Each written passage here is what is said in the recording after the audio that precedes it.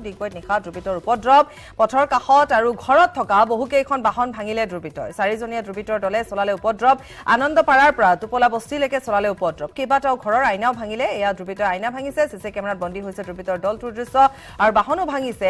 নিগবৈত নিশা দুৰ্বৃত্তৰ উপদ্ৰৱ আৰু আনন্দপাৰাৰ টোপোলা বস্তিলৈ চলালে টোপোলা বস্তিত চলাইছে উপদ্ৰৱ আমি দেখুৱাইছো কেইবাটাও ঘৰৰ আইনা ভাঙিছে। আৰু চি চি কেমেৰাত আবদ্ধ এইসমূহ দৃশ্য।